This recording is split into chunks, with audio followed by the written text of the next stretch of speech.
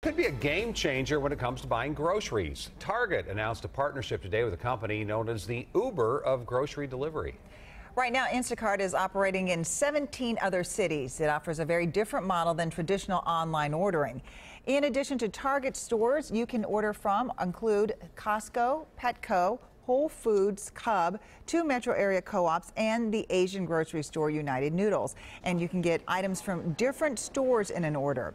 Instacart says it has hired 100 personal shoppers in the Twin Cities to fill orders. And Esme Murphy has been looking into this model. She joins us right now. So it sounds intriguing, but I understand that Yeah. not everyone is included in this initial rollout. That's right, Amelia and Frank. For now, the order area for the service that started today is largely contained in Minneapolis and the inner ring of the southwest suburbs. A small portion of St. Paul is also included. But Instacart is promising it will be expanding quickly. You want the milk from Whole Foods, some pet food from Petco, and the rest of your groceries from Target.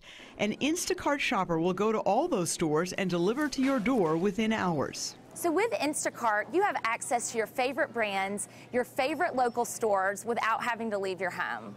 The price for the delivery service on orders of over $35 is $3.99 for two hour delivery and $5.99 for one hour delivery. Unlimited free delivery of orders over $35 costs $99 a year. You can type in your zip code on the Instacart website to see if your area is being served.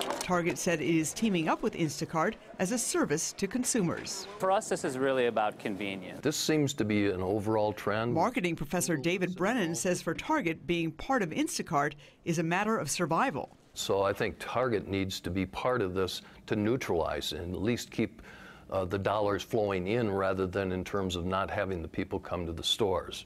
Other grocery stores, including Lund's and Byerly's, as well as Coborn's Delivers, already offer local delivery.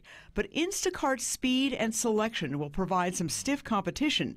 And another online option could come soon if, as some analysts expect, Amazon will provide same day grocery delivery when its Shakopee Distribution Center opens next year. Reaction from consumers at one of the Twin Cities Instacart co ops ranged from intrigued to not for me. It seems interesting. I'd definitely look into it. I don't know if I'd want someone to do that for me or not. Now, Rebecca Karowski from Coborn's Delivers told me Coborn's will be monitoring Instacart's rollout to see if Coborn's needs to make adjust- adjustments to its delivery service.